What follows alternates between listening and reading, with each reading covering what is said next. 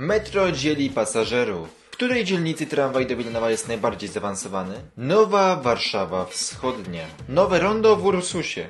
Złota i zgoda. Bez samochodów. I betonowanie północnego wiaduktu trasy Łazienkowskiej na Saskiej Kępie. O tym tylko w kolejnym wydaniu Mniejsza z tym w sobotę 17 lutego. Zaczynamy!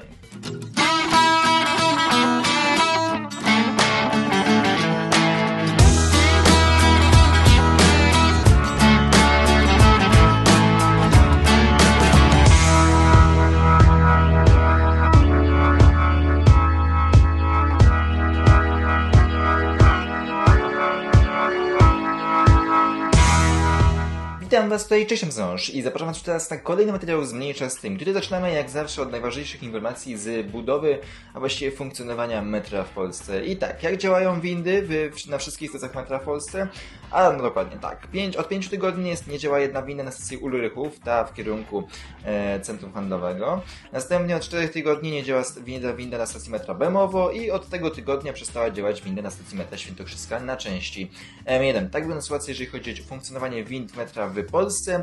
Natomiast przechodzimy do aspektu tego, jak wygląda sytuacja, jeżeli chodzi o budowę metra. Bo tylko i wyłącznie aktualnie trzy stacje metra powstają w całej Rzecz Rzeczpospolitej. Natomiast co ważne, to jest to, jakie jest zaawansowanie budowy. Aktualnie na tych wszystkich trzech stacjach ściany ślinowe są już gotowe, a na stacji metra Karolin mamy już nawet e, pracę pod ziemią. I praca pod ziemią jest na tyle zaawansowana, że de facto poziom minus 1 jest już całkowicie prawie wykopany.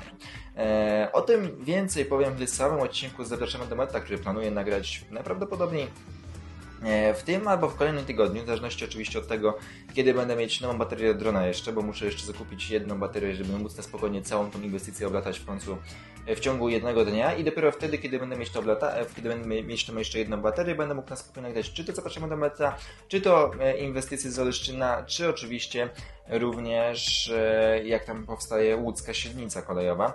Więc kiedy będę mieć ten aspekt zrobiony, wtedy dopiero faktycznie pojadę nagrywać te inwestycje wszystkie. E, natomiast coś ciekawostek mogę powiedzieć, że planowane zakończenie budowy tych wszystkich trzech nowych stacji aktualnie cały czas jest podawane na październik 2025, czyli de facto za trochę ponad no prawie, prawie dwa lata. Ja patrząc na to, jak jest aktualnie zaawansowanie budowy, mogę powiedzieć, że ja bym powiedział, że za dwa lata, a nie trochę, nie, nie prawie dwa lata, tylko za dwa lata. W sensie, no na wakacje 2026 Matta pojedzie. Na spokojnie. Ale czy w październiku, to nie wiem, czy jestem aż takim optymistą. Natomiast optymistą cały czas jest ZTM, że da się bez przebudowy całkowicie łącznika na stacji metryczną do Krzyska pomiędzy M1 i M2 zrobić jakoś usegregować ten ruch, żeby tutaj było lepiej. 60 tysięcy pasażerów korzysta z tego łącznika w ciągu jednej doby. Całkiem dużo, bym powiedział. Natomiast co jest to ważne, to jest to, że Metro teraz i ZTM chcieliby to podzielić. I zrobili żółtą linię, która rozdziela właśnie w tym miejscu, jak widzicie, pasażerów. Sam jeszcze nie miałem okazji tego zobaczyć, jak to wygląda na miejscu. Będę miał okazję zobaczyć pewnie w poniedziałek. Jak widzicie na załącznym obrazku, to ma rozdzielać i są też piktogramy, które informują, żeby iść prawą stroną. Według mnie one powinny się pojawić wszędzie na stacjach metra i ogólnie w Polsce. Po pierwsze na schodach ruchomych, żeby faktycznie po prawej stronie się stoi, a po lewej się stronie idzie. Tak zawsze było na schodach ruchomych i czasami to jest, jest problematyczne nawet w Warszawie. Natomiast pomijając to, to to, że właśnie się tak schodzi schodami, wszędzie to też powinno być dosyć dobre. Ja chodziłem do liceum, które de facto miało główny element pomiędzy, przemieszczania się pomiędzy wszystkimi salami w postaci schodów E, i tam były schody podzielone na dwie części, więc siłą rzeczy trzeba było chodzić prawą stroną tylko i wyłącznie, żeby dostać się gdziekolwiek, inaczej e, po prostu nie dało się dojść, bo, był taki duży ruch na schodach, więc to, co się dzieje na łączniku, to tam to pikuś przy tym. Natomiast co ważne, to jest to, że faktycznie, e, jak widzicie, to jest podzielone. Zobaczymy, jak to będzie funkcjonować i czy faktycznie to zda swoją rolę. Tymczasem metro nie będzie wyrzucić bezdomnych. Jest ich co prawda trochę więcej oczywiście na cech metra, ale oni tam po prostu będą. Zazwyczaj to są osoby, które nie chcą pomocy, przynajmniej tak tutaj twierdzi metro e, i miasto ogólnie. I też twierdzę, że trochę więcej tych osób przyszło faktycznie z innych obiektów, których zostali po prostu wyrzuceni, czy to z kolei, czy to z, innych, z innej infrastruktury. I dlatego się pojawili po prostu bardziej w metrze. No, aktualnie przepis pozwalający na wyrzucenie, że tak to powiem bezpośrednio, od takich osób z komunikacji miejskiej został wykreślony e, kilka lat temu w związku z sprawą sądową. E, no i aktualnie kogoś z powodu zapachu czy innych aspektów nie można wyrzucić. Jeżeli się faktycznie stawia i, i rzuca, no to wtedy faktycznie można pod tym aspektem e, dojść do tego, żeby faktycznie taka osoba wyszła ze stacji, po prostu policja jest zwana. Natomiast pomijając ten aspekt, no to zbytnio taka osoba, że tak powiem, jest nieusuwalna, nawet jeżeli nie ma biletu. E, znaczy, przypomnę tylko i wyłącznie, że osoby, które faktycznie mają status bezdomnego, to i tak mają za darmo komunikację miejską w Warszawie, to jest w regulaminie napisane. Natomiast nawet jeżeli właśnie nie mają biletu i tak dalej, to i tak raczej żaden kontroler biletu do nich nie podchodzi. Więc no jest to sytuacja, która powinna być trochę bardziej rozwiązana. W sensie rozumiem, że zimą oni faktycznie się pojawiają częściej, bo tam jest też cieplej, a też tutaj nie, nie, całkowicie nie jestem w stanie stwierdzić i podać, że faktycznie faktem jest to, że miasto nie, nie przeszkadza im, że tak to powiem. W sensie że nie wyrzucaj. Z metra może faktycznie ich nie wyrzucę, ale z innych miejsc już raczej tak. Bo na przykład na stacji, znaczy przy obok stacji metra Centrum Nauki Kopernik znajduje się most Świętokrzyski i tam jest tak zwany hostel świętokrzyski, który został całkowicie prawie zlikwidowany. Tam e, właśnie pod samym mostem, e, w miejscach w przyczółku właśnie mostu świętokrzyskiego, e, były po prostu bardzo dużo osób tam spało, e, właśnie tam byli schowani, wciśnięci, teraz tam się pojawiły kraty i nawet było słuchać przez jakiś czas nadawanie takich pisków, jeżeli chodzi o zwierzęta, takich ptaków, nie wiem, czy to jest humanitarne rozwiązanie takiej sytuacji. Na pewno te kraty, które całkowicie e, usunęły możliwość de facto tam wchodzenia, też nie jest takim rozwiązaniem, chociaż de facto i tam dwie miejscówki zostały i widać, że tam cały czas leżakują. Ale to taka inna ciekawostka, którą warto powiedzieć i warto o tym informować, co się dzieje faktycznie w mieście, a nie to, co zawsze jest podawane do informacji publicznej, że tak to powiem. Natomiast informacja publiczna, to jest dobrze powiedziane i określone, jeżeli chodzi o tramwaj do Wilanowa. Zobaczcie, jak dobrze jest zaawansowana budowa tramwaju do Wilanowa. Ułożenie szyn 60%, wykonanie odwodnienia 92%, przebudowa kanalizacji sanitarnej 91%, przebudowa sieci wodociągowej 91%, przebudowa sieci gazowej 91%, przebudowa sieci cieplnej 96%, budowa podstacji trakcyjnej Wilanowska 82%. I czemu ja się z tego śmieję? Bo tu jest taki malutki haczyk. Dosłownie malutki haczyk. Tramwaj do Wilanowa. Zaawansowanie prac na odcinku wilanowskim. I teraz czemu to jest taki ważny element? Yy, no. Ktokolwiek widział spacerową doskonale wie, że tam sieci trakcyjnej szyn czy tak dalej to w ogóle nie ma. E, a dlaczego ważne jest to, że to jest napisane odcinek Wilanowski? Sam tramwaj do Wilanowa w Wilanowie samym ma trzy przystanki. Trzy przystanki, e, dobra, cztery, powiedzmy, góra cztery. To jest Świątynia Opatrzności Bożej, Oś, Oś Królewska czy Sobieskiego, chociaż sam przystanek Sobieskiego perony tramwajowe się znajdują poza Wilanowem. Chociaż napis Wilanów w tym miejscu jest y, zapisany, jakby faktycznie to było Wilanowie, to sam Wilanów, jak możecie zobaczyć na tej mapie, gdzie jest dokładnie zarysowana granica, się kończy w tym miejscu i przystanki tramwajowe się znajdują w tym miejscu. Tak samo tutaj przystanki y, sama Jana Sobieskiego nie znajduje się już w Wilanowie, więc de facto większość inwestycji, czytaj cały stąd Sobieskiego, cały ten odcinek nie jest uwzględniony w tym opracowaniu, które przed chwilą widzieliście, jeżeli chodzi o proces i zaawansowanie budowy, więc czujecie ten nie trochę niesmak, co nie? Takie, że ktoś teraz wprowadził w błąd. No, ale może by tylko i wyłącznie mi się tak wydaje. Natomiast na samej spacerowej e, i tutaj ogólnie, jeżeli chodzi o sytuację tutaj w, na tym odcinku na Goworka, też przy okazji trwają prace faktycznie i tutaj na spacerowej już widać zarys trzech nowych torów tramwajowych. Tutaj, jakbyście byli ciekawi, no, internet mi przestał działać, więc ja nie pokażę w tym przybliżeniu, ale gdybyście byli ciekawi, czemu tutaj ten tor tramwajowy jest tak oddalony od tych pozostałych dwóch, to po pierwsze ten jest w innym kierunku, ten jest w kierunku Gagarina, a ten tor i będzie wspólny dla autobusów i tramwajów, dlatego on jest też trochę szerszy, no bo autobusy są szersze, więc to jest jeden z takich aspektów. Natomiast zwróćcie uwagę, że tutaj jak ta cała inwestycja wygląda, to tutaj się znajduje wielkie pole rozjazdowe betonowe, po którym tramwaj będą po prostu wszędzie się rozjeżdżać i skręcać, więc siłą rzeczy dosyć to ciekawie wygląda i mniej więcej cała konstrukcja betonowa, tutaj jeszcze ten łazik marsjański jeździ, jest już prawie wszędzie e, gotowa, chociaż oczywiście prace cały czas jeszcze przy tym e, trwają. No ale jak widzicie na załączonych obrazkach, no faktycznie nie jest to źle, jeżeli chodzi o to zaawansowanie budowy. Więc tak to wygląda jak na załączonym obrazku. To z takich ciekawostek. Tymczasem lecimy dalej, bo modernizacja Warszawy Wschodniej sama się nie opisze, a trochę jest ciekawostek. Wiadomo, że Warszawa Wschodnia będzie przybudowana po zakończeniu zasadniczych prac na Warszawie Zachodniej. Miało się to rozpocząć w teorii niedługo, w praktyce trochę to później będzie zrealizowane, Natomiast pomijając to, Warszawa, po Warszawie Wschodniej rozpocznie się przebudowa warszawskiej linii średnicowej. I oni powiem za chwilę w kolejnym artykule. Natomiast tutaj możemy przeczytać parę ciekawostek, jeżeli chodzi o samą tą inwestycję. Po pierwsze jest to, co będzie realizowane na, na samej Warszawie Wschodniej. Po pierwsze będzie przebudowa wszystkich przejść podziemnych. Wszystkie przejścia podziemne się zmienią nie do poznania. O tym zrobię jeszcze specjalny film z warszawskiej średnicy, żebyście mieli dokładnie to opowiedziane i pokazane jakby aktualnie to się zmieni. Natomiast po pierwsze, powstanie nowa e, trasa tysiąclecia, która będzie dla samochodów i ona powstanie, lub, lub też tramwajów. To powstanie pod wszystkimi peronami. To będzie taki, że tak powiem, tunel, a de facto wiadukt stacji kolejowej. I to jest realizowane wspólnie właśnie z miastem stołecznym Warszawa. Powstaną trzy nowe przejścia podziemne, z czego jedno przejście podziemne, te po stronie zachodniej, będzie mieć też e, drogę rowerową, która będzie tam, tam powytyczona. Z wszystkich przejść podziemnych na wszystkie perony będą wejścia nie tylko z pomocą schodów, pewnie również schodów ruchomych, ale co najważniejsze, również za pomocą wind czego aktualnie nie ma i wszystkie perony będą zadaszone. Najprawdopodobniej zadaszenie będzie wyglądać bardzo podobnie do samej Warszawy Zachodniej, choć będzie trochę inaczej to wyglądać. E, z racji tego, że na Warszawie Zachodniej z jednej i z drugiej strony się znajdują e, dwie dosyć duże hale dworcowe, natomiast na Warszawie Wschodniej miałoby to być zrobione to trochę inaczej. Inaczej, będzie podobnie i nawiązywać kształtem, ale będzie to trochę inaczej będzie zrealizowane. Na razie nie mam jakiejś wizualizacji, tak to, że mam powiedzieć pokazać, jak to będzie wyglądać.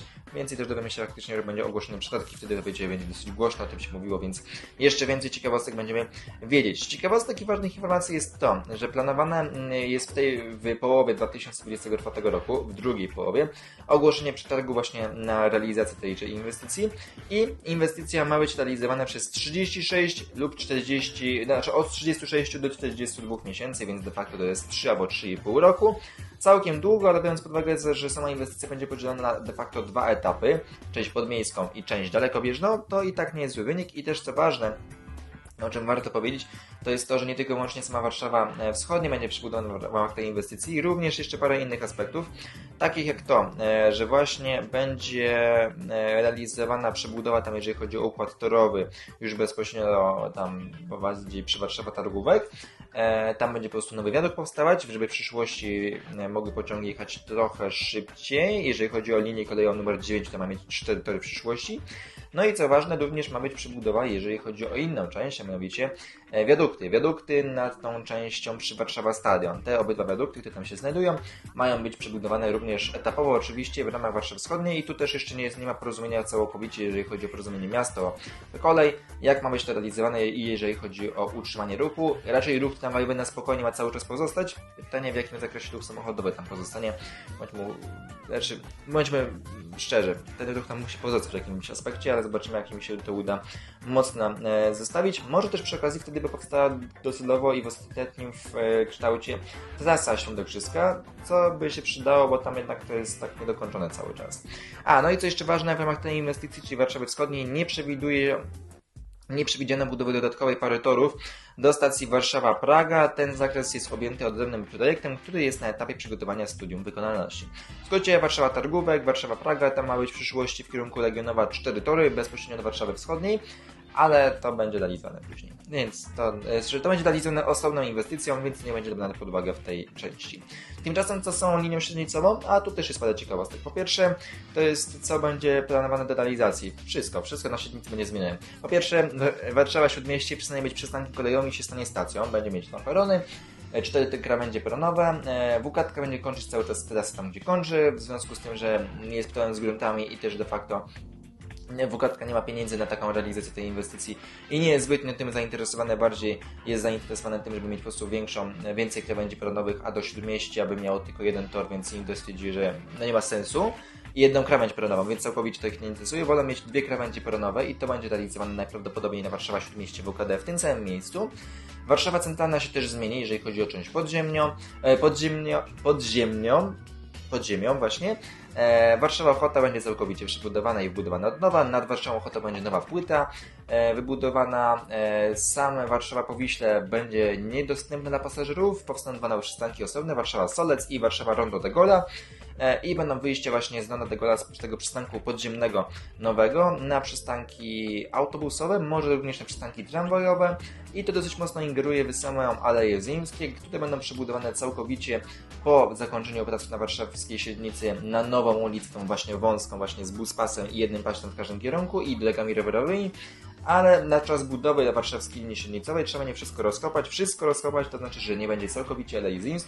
Pociągi pośrednicy będą jeździć w ograniczonej możliwości, najprawdopodobniej góra po dwóch torach, ale to i tak w dobrym przypadku. No i będzie dosyć kiepsko. Z ciekawostek jest to, że jest dużo miejsc styku, jeżeli chodzi o samą inwestycję. Między innymi elementem styku, czekajcie tylko, czy ja to znajdę tak na miejscu, o jest. Elementem styku jest wiadukt na ulicy Towarowej, Emilii Plater czy Alejach Jezymskich teraz, e, czy, e, czy Alei Jana Pawła II. I teraz możemy mieć zastanowienie, chwilę, jakiego wiaduktu? Jaki wiadukt na Alei Jana Pawła II czy, Ale, e, czy Emilii Plater? A, no chodzi oczywiście o to, że wiadukt jest na poziomie zero, po prostu tego nie widzimy, tak? Ale to oczywiście jest w świetle prawa faktycznie wiadukt, no bo kolej jest na dole, po prostu pod ziemią się wszystko dzieje i tam de facto czy Jana Pawła, czy Emilii Plater się znajdują nad stacją kolejową, więc to jest Ciekawa zagłoska z góry, nic nie widać, a pod ziemią tyle się dzieje. Zwłaszcza to widać przy Jana Pawła, gdzie e, tam faktycznie jak sobie wejdziecie na perony, to widać słupy, które utrzymują te dwa wiadukty, które się znajdują właśnie nad samym rondem. E, znaczy tak, na samym rondę, bo tu tam się znajduje, 40-latka, to e, na dole, na przyperonach Warszawy Centralnej widać te wielkie, masywne słupy, które po prostu pod, podpory, które podtrzymują te dwa wiadukty. One się dokładnie tam znajdują. Jak coś to możecie zobaczyć, one są inne niż te wszystkie pozostałe, bo są masywniejsze i są całe okrągłe. Taka ciekawostka. Ale wracając już z ciekawostek, wracając do samej średnicy, co wiemy a propos nowej średnicy? No, że jest, są zmiany aktualnie w PKP PLK się tam zrobią, dosyć dużo się zmienia. Mm, też jest nowy minister infrastruktury, wiadomo, były wybory, to się wszystko zmienia, wszyscy wymieniają swoje, swoje władze i tak dalej. Natomiast wychodząc z tematu polityki, może udałoby się ugrać trochę lepiej, jeżeli chodzi o średnicę. Aktualnie jest przeglądane przez nowego, nowe ministerstwo, jak wygląda ten projekt i czy dałoby się może trochę to lepiej rozwiązać. Chodzi między innymi po pierwsze o to, żeby całkowicie zadaszyć i ukryć w tunelu linię średnicową, jeżeli chodzi o odcinek zachodni, czyli od Warszawy Centralnej do Warszawy Ochoty, żeby po prostu wszystko było schowane pod ziemią, bo aktualnie jest to odkryte i po przebudowie by to wyglądało mniej więcej podobnie, tylko przy Warszawa Ochota by powstał nowy skwer i plac, ale później tak byłoby to wszystko odkryte, a tam gdzie aktualnie się znajduje parking ten wielki pod Warszawą, pewnie by został całkowicie wyburzone i raczej tyle w tym temacie. Więc sądzę, że to dosyć dobry z aspektów, który faktycznie przydałoby się ogarnąć. Nie mówię, żeby tam budynki wstawiać, no, byłoby to oczywiście idealne, ale jakiś może duży park, który w tym miejscu, w sensie jakby nie, nie mamy dużo inwestycji takich w innych miastach, które po prostu gdzie kolej jedzie pod ziemią, a w Warszawie mamy mieć po prostu widok na kolej w samym centrum Warszawy, zamiast ten teren jakoś ładnie zgospodarować. To jest stolica e, dużego państwa w Europie Środkowej. No jakby szanujmy się, to powinno być lepiej zagospodarowane niż aktualnie jak to wygląda, zwłaszcza po tym, biorąc uwagę, że jest to nawet dosyć duża przebudowa i ten teren powinien być lepiej zagospodarowany i to powinno być wszystko schowane, a na górze powinien powstać właśnie taki jeden duży park albo faktycznie budynki. To jest moja opinia e, i zdanie. Dajcie znać, co sądzicie o tym w komentarzach, czy według Was to powinno być lepiej zrealizowane jest zaaranżowane. Ja sądzę, że mimo wszystko, nawet jeżeli będziemy czekać dłużej na przebudowę linii średnicowej, nie wiem, rok, dwa, to to cel uświęca środki. Jakby mogą nawet rozpocząć od nowa całe to projektowanie. Cel uświęca środki. Ja poczekam, naprawdę. Mogę nagrywać jeszcze dłużej filmy na kanale niż do 2030 roku, e, jak aktualnie mam w planach, tylko po prostu, żeby nagrać tą średnicę do końca. Jakby na spokojnie jestem w stanie to przeżyć i po prostu ponagrywać dłużej, e, a bardzo bym chciał, żeby po prostu to było dobrze i solidnie zrobione, a nie tak jak zawsze na prowizorkę. Jakby zróbmy coś raz dobrze, a porządnie. Więc e, tak, e, natomiast właśnie tutaj nowy minister ma się temu przyjrzeć i tym aspektom, może też przy okazji by zrobili tą część pieszo-rowerową na moście średnicowym, o, bo to zapomniałem powiedzieć, też most średnicowy będzie całkowicie przebudowany, kolejowy i tam na przykład wprowadzić tam drogę, drogę rowerową, która by powstała nie przy wsparciu przy funduszy z miasta, tylko faktycznie by to kolej całkowicie sfinansowała, a miasto by tylko na przykład zrobiło drogi dojazdowe czy cokolwiek. Według mnie to byłoby dosyć dobre rozwiązanie. E, no no cóż, zobaczymy jak faktycznie to potoczy się. Miasto tutaj uważa, że może być problem właśnie, że uwzględnienie postulatów może opóźnić projekt i tym samym zapadnie decyzja, by realizować stary plan, ale ja sądzę, że lepiej byłoby opóźnić nawet same projekty i zrobić to dobrze, a porządnie, bo kolejna okazja będzie za co najmniej 50 albo 100 lat, więc jakby siłą rzeczy mniej już nawet na świecie nie będzie, a nie chcę czekać, żeby zabudowano linię średnicową, aż przestaną już żyć na tym świecie. No szanujmy się. Każdy chciałby zobaczyć zmiany w swoim mieście za swojego życia, prawda? A jakby ja wiem, że ja nie dożyję tych 5 linii metra. Jakby już się z tym pogodziłem dawno temu. A to o trasie NS to ja nawet nie mówię. Ale dobra, z innych dobrych ciekawostek i pozytywnych to jest to, że ponad 215 tysięcy złotych od warszawskiego transportu publicznego i przyjaciół dla WOŚP zostało uzbieranych i te pieniądze również są od Was.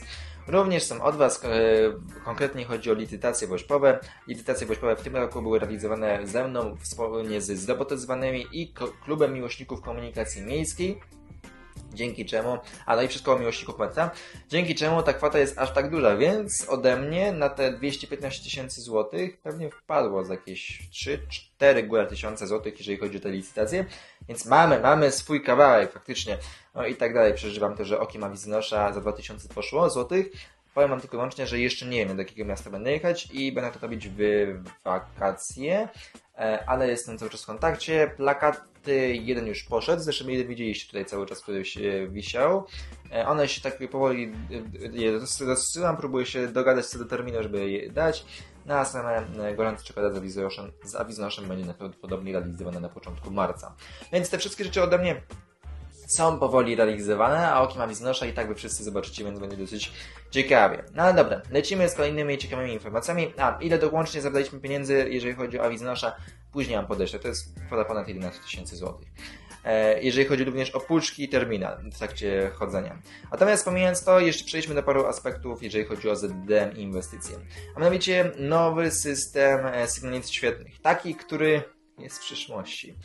O, de facto. Chodzi o to rzeczywiście, żeby było więcej kamer i system był na tyle zoptymalizowany, aby mógł zobaczyć i przewidzieć i dostosować się do komunikacji miejskiej. To znaczy, jeżeli widzi, że autobus bądź tramwaj jest przed czasem lub po czasie, czyli w czasie rzeczywistym, widzi, że jest coś nie tak ze składem jazdy, że autobus jest opóźniony bądź jest przed czasem, to on to dostosuje. On dostosuje sygnalizację świetną tak, aby albo go opóźnić, jeżeli jest przed czasem, albo go przyspieszyć, jeżeli jest po czasie, żeby w sposób upłynnić jego ruch po mieście. Mało tego, on przewidzi to, ile osób faktycznie będzie wsiadać na przystanku tramwajowym czy autobusowym. Przewidzi ile jest osób, przewidzi ten czas, który faktycznie będzie na wymianę pasażerską i tak dostosuje sygnalizację świetną, aby się zapaliło zielone do tramwaju, aby on faktycznie mógł ruszyć, kiedy już faktycznie wszyscy wsiądą do tramwaju. Dość to brzmi ciekawie, chociaż ten system już w teorii funkcjonuje. On aktualnie będzie wdrażany w różnych miejscach, dokładnie w 370, bo już 435 e, jest właśnie w tym systemie. E, system. E, system się nazywa Zintegrowany System Sterowania Ruchem, w skrócie e, ZSSR. No, jak niestety skojarzenia się wchodzą raz do głowy, ale no, natomiast dzięki temu, że będzie już to wszystko wprowadzone, te nowe kamery i tak dalej zainstalowane, łącznie to da 805 e, monitorowanych lokalizacji, czyli łącznie 899 skrzyżowań i przejść sygnalizacją świetną w Warszawie, czyli prawie de facto wszystkie w mieście. Całkiem niezła sytuacja. I dobra informacja, tak samo jak to, że powstanie, przynajmniej w teorii, dobra nowina, e, rondo na skrzyżowaniu z postagu 7 panien. Jeżeli o które chodzi o skrzyżowanie, e, znaczy rondo będzie tymczasowe, bo w przyszłości tam powstanie docelowe rondo, ale chodzi o to, żeby na szybko to zrobić, to jest dokładnie to skrzyżowanie obok przystanku e, autobusowego po postagu 7 panien.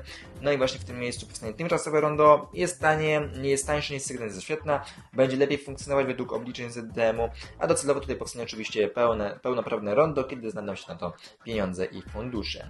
Tymczasem to jest ostatni weekend z, ze świątecznymi iluminacjami edycjami e, w Warszawie, w różnych miejscach w Warszawie, więc tak, Nowy Świat, krakowskie przedmieście. Czekajcie na nas. Ja najprawdopodobniej jutro po nagrywaniu filmów wpadnę tam, no bo przydałoby się, przydałoby się zobaczyć. Widziałem już Nowy Świat, krakowskiego przedmieścia?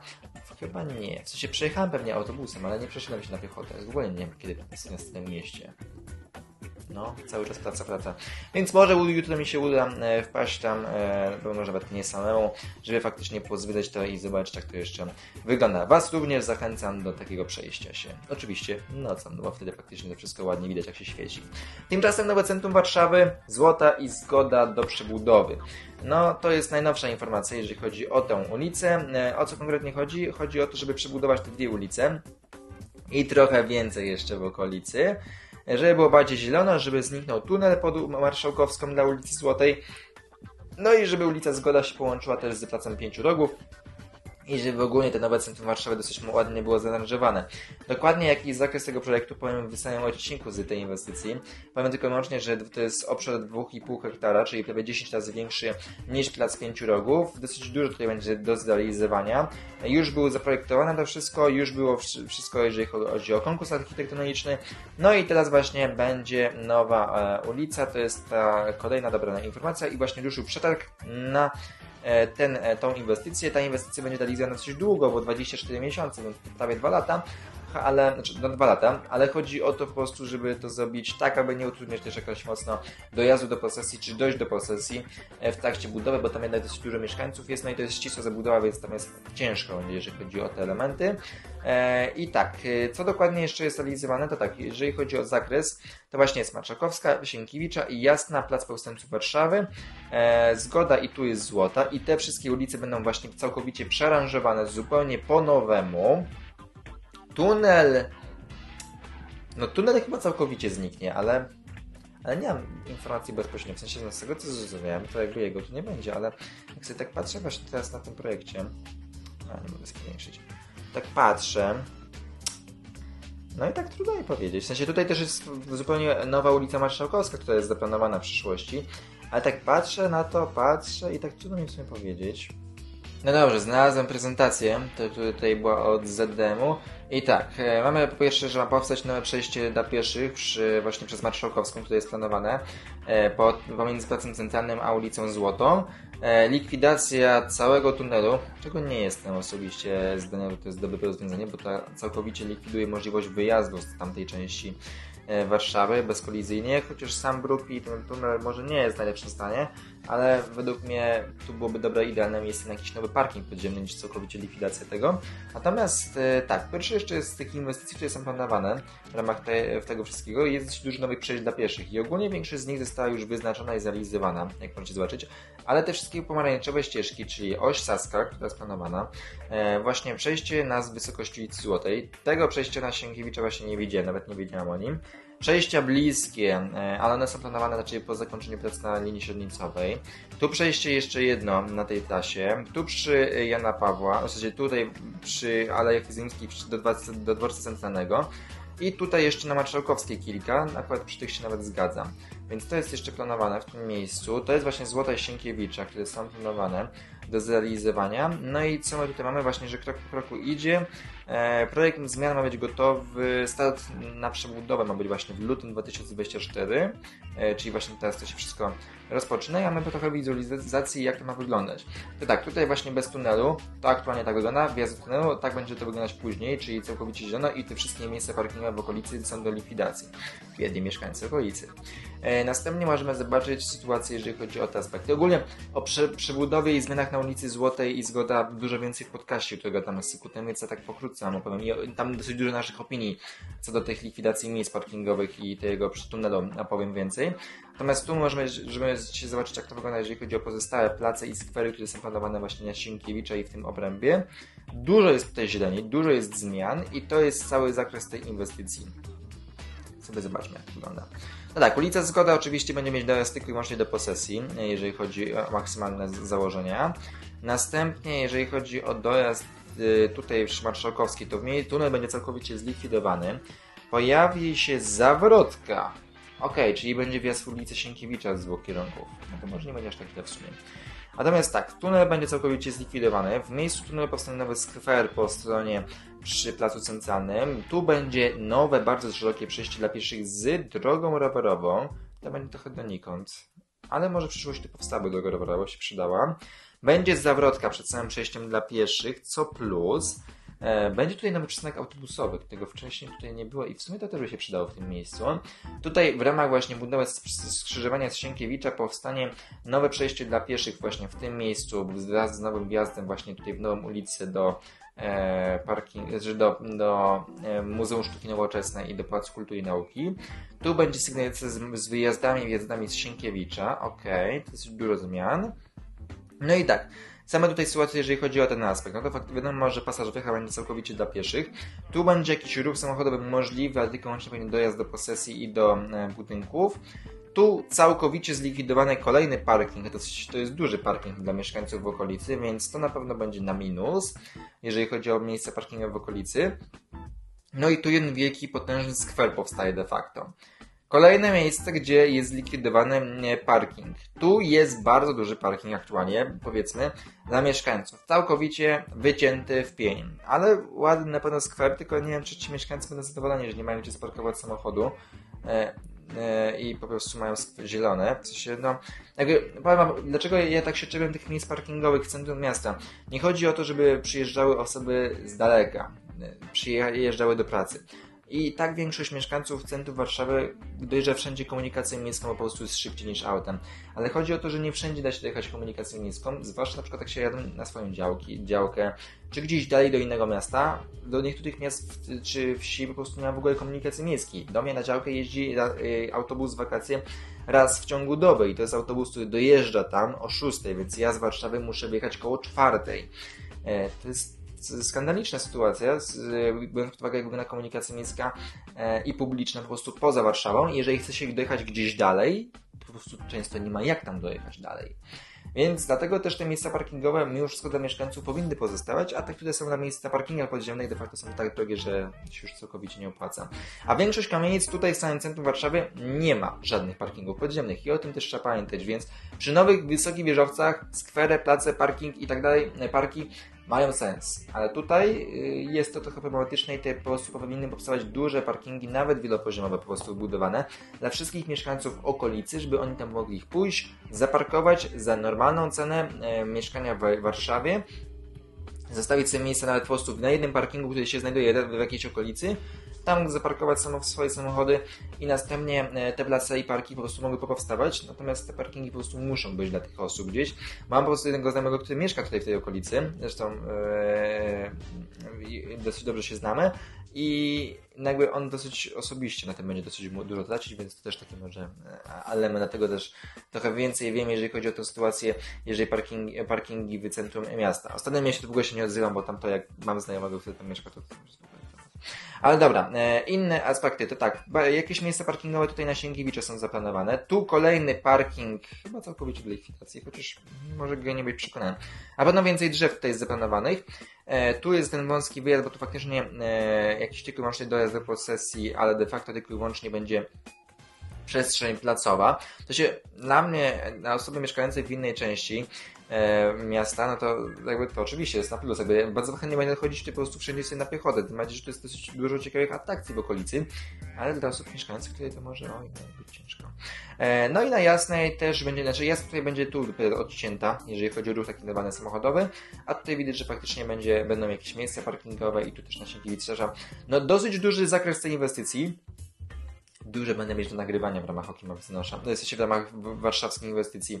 Będę mieć naprawdę co, co ponagrywać. Yy, no zobaczymy, kiedy faktycznie jakiś pierwszy, większy yy, film na temat tej inwestycji się pojawi. No zobaczymy. O, o, co tu jest? Koordynacja z parkingiem. Koniec prac na, pod placem postojącym w Warszawie planowany jest na przełom 2024-2025. No dobra. Ale nie wiem, czy mieszkańców będzie stać na parkowanie na tym parkingu. Tak nieironicznie całkowicie mówię. Dobra, przejdźmy sobie dalej. E, wizualizację mapki, to wszystko widzieliśmy. Mamy, e, to jest ogólnie ten zakres, to jest aktualnie ten tunel, co nie ulicy Złotej, jak coś, tak to wygląda. Tu jest ten jeden parking, tu jest ten drugi parking, ten jest większy niż ten i on jest też całkowicie obecny do likwidacji. Tu jest dosyć dużo miejsc jeszcze w samej wzdłuż ulicy Złotej, gdzie samochody parkują. No i na Sienkiewicza tu te miejsca parkingowe, które są pokazane, to one są po pierwsze e, e, nie prostopady, tylko równoległe, więc tych miejsc samochodów, mniej osób będzie faktycznie mogło tutaj parkować. E, czekajcie, na prezentacji było dobrze widoczne. Spomnijmy jeszcze raz, to zwróćcie uwagę, że te miejsca parkingowe, no wiemy, jakość jest tragiczna, jak tak powiększyłem, ale te miejsca parkingowe są równoległe, a nie prostopadłe, więc to jest na minus. No i e, tak wygląda sytuacja, jeżeli chodzi o te aspekty, więc bardzo dużo miejsc parkingowych będzie po prostu zlikwidowane w ramach tej inwestycji. Oj, bardzo dużo. Dobra, e, kończąc te tematy, będzie też przebudowana powstańców, będzie też przebudowana skrzyżowanie ulicy Świętokrzyskiej z placem powstańców Warszawy. Chodzi nam głównie o zmiany po prostu takie, że z parkingu będzie wyjazd dwukierunkowy i sam plac powstańców Warszawy będzie po prostu dwukierunkowy i dalej też ulica Mazowiecka będzie dwukierunkowa. Tam takie place są planowane i aktualnie właśnie już to będzie się niedługo powoli zmieniać. Na koniec tak tylko łącznie połowicznie powiem, że coś tam się dzieje, betonowanie północnego reduktu na trasie Łazienkowskiej na Saskiej Kampie. Dzieje się, dzieje się oczywiście. Widać, że już betonowanie trwa i się dzieje e, i postępuje to, a film o tej inwestycji w tym tygodniu powinien się pojawić. W sensie, pewnie we wtorek pojadę tam nagrywać. Może w środę trochę bardziej w środę. Ale spokojnie w tym tygodniu będę zamierzać tam pojechać i nagrać, jak tam są realizowane te prace na tej inwestycji, więc szykujcie się na to, że się tam jeszcze pojawię. Więc takie ciekawostki, jeżeli chodzi o ten aspekt na trasie Łazienkowskiej. No i na koniec e, wrócił jeden sondaż, a drugiego mi się już nie udało wymyśleć. Natomiast to nie zmienia faktu, że e, co e, się tam dzieje, która z inwestycji wymienionych E, mam nagrać pierwszą w tym tygodniu. To było moje jedyne pytanie. Większość z Was stwierdziło, że ogólnie pierwszą na nowym dronie, znaczy nowym dronem, żeby nagrać, bo faktycznie no, muszę coś ciekawego nagrać na drony. I większość z Was stwierdziło, że Warszawę Zachodnią, film z Warszawy Zachodniej będę nagrać we wtorek, będę też chodzić na plac budowy, więc pewnie w środę albo w czwartek będziecie mieli już film faktycznie z Warszawy Zachodniej, bo jeszcze będę musiał go tam przerobić, zmontować go, przygotować wszystko i będzie to dla Was dostępne. Zapraszamy do metra, też planuję w jednej z pierwszej kolejności, następnie Łódzka Siednica e, i na sam koniec Zajezdnia Nopol, czy inna w komentarzu. Zajezdnia Nopol Chyba YouTube będę nagrywać, ale skoro jest tak daleko w komentarzach, to może faktycznie coś innego nagram idąc tym torem. Ale zobaczymy, zobaczymy co będę jeszcze YouTube faktycznie realizować. Dosyć dużo ciekawych aspektów co do nowego drona bym wam opowiadał, ale, ale to może kiedy indziej, jak będę gadać o sprzęcie. Eee, z ciekawostek jest jeszcze to, że pojawił się biletomat w końcu na stacji kolejowej Ożorów Mazowiecki. Ile to minęło? 3-4 miesiące od dodania do użytku końcu biletomat. Stary się znajdował na peronie pierwszym. Peron został całkowicie tamten wyburzony, się znajdują dwa nowe. Trochę szkoda, że mimo wszystko nie znajduje się ten biletomat w przejściu podziemnym, ale domyślam się, że mógł być problem z dogadaniem się faktycznie e, z PKP, więc się znajduje w tym miejscu przed samą halą dworcową, gdzie i tak większość osób e, korzysta. No i co ja mogę powiedzieć? Dobrze, w końcu. Na stacji można kupić papierowy bilet. Niekoniecznie u konduktora. To jest news na skalę mniejsza z tym.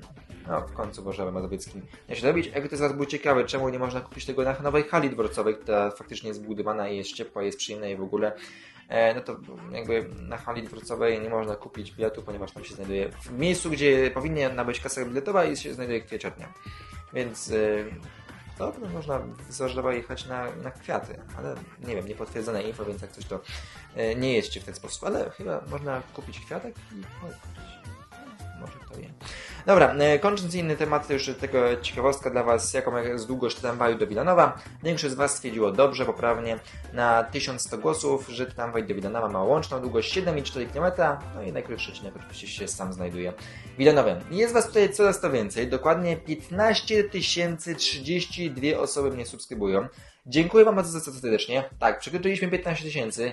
Yes, mamy to ale na razie chyba żadnego większego świętowania w tym temacie nie planuję, chociaż kto wie, zobaczymy jak to będzie się układać. Może większe świętowanie to jest to, że będą filmy z innych miast. Na pewno będą filmy z Łodzi, będą też filmy z e, Krakowa. E, od przyszłego miesiąca rusza właśnie, wyruszają serie stałe z Krakowa. E, I jeszcze jedno miasto, ale jeszcze nie wiem jakie. Te trzecie miasto, które będzie się dotacyjnie pojawiało pomiędzy Łodzią, Krakowem i tym innym miastem, jest jeszcze do wyboru waszego. Będę się chciał o to pytać. Jakieś jedno większe miasto, nie, może być nawet coś na Podlasiu. Jakby nie oceniam, jakby coś zupełnie z innej części e, Polski chciałbym. Właśnie tak jak mamy Warszawę, Kraków, to w teorii by nam od razu się nasuwał Gdańsk czy Gdynia, ale może coś innego jest ciekawego. Może jakieś inne miasto, gdzie się dużo dzieje. Piszcie w komentarzach, które miasto według Was powinno się pojawiać na stałe co kwartał na kanale Biznes z różnymi inwestycjami. Tymczasem to było na tyle z tego materiału. Jeśli taki materiał, czyli mniejsza z tym Wam się podobało, to jeżeli Wam się podobało, to zostawcie łapkę. Jeżeli chcecie zobaczyć więcej materiałów, kliknijcie subskrybuj i kliknijcie dzwoneczek. Jutro się na pewno pojawi film z podcastem. Miał być jeszcze inny film, podsumowanie Lazurowej, ale nie wiem jak on z tym stać z czasem dokładnie, bo aktualnie jest godzina 22, a ja jeszcze nie zmontowałem mniejsze z tym i właściwie kończę je nagrywać, więc pewnie mniejsze z tym się pojawi około 23, więc no zobaczymy jak to faktycznie wyjdzie. Ale nową, którą bym bardzo koniecznie chciał w końcu Wam e, pokazać, tą drugą jezdnię, bo tam e, te podsumowania po prostu już czeka, czeka, czeka i faktycznie powinno się doczekać, jeżeli chodzi o emisję. To jest jeszcze sposób, kiedy faktycznie nie miałem drona i musiałem jakieś różne filmy i ten film chciałbym Wam jeszcze opublikować właśnie teraz, więc najprawdopodobniej to też zobaczycie, a w kolejnych dniach oczywiście kolejne inwestycje. Przelot na tramwaj na Kasprzaka oczywiście się pojawi. Mało tego, będzie więcej ciekawych inwestycji, jak i innymi tunel w Tedesinie, gdzie się rozpoczęły prace. Najprawdopodobniej też będą informacje o tym, jak w całkowicie e, powstaje nowy park żerański, bo to nagrywałem ostatnio. E, no i inne inwestycje jak Warszawa Zachodnia, jak powiedziałem już wcześniej w filmie. E, zajezdnia Nopol, którą pewnie nagram na dniach, trasę łazienkowską po stronie praskiej, czy podsumowanie przesunięcia wiaduktu na Marywijskiej, który tam się trochę posypał w trakcie przebudowy i innych inwestycjach, które są realizowane w Warszawie i poza Warszawą, bo też parę mazowieckich inwestycji mam nawet planowane do nagrania. Tak, w końcu tą drogę krajową tam zalegionować będę nagrywać. Tylko musimy się dogadać z Sykutem, kiedy pojechać i to zrealizować. Tymczasem do zobaczenia wkrótce w kolejnych materiałach na moim kanale. Kolejne mniejsze z tym, jak zawsze, w kolejny weekend. To jeszcze chyba będzie luty, co nie? No, no to zobaczymy się za tydzień. No i w tym albo w kolejnym tygodniu na pewno już pojadę do Łodzi i pewnie i do Olsztyna. Ciekawe, co tam nagra. Cześć!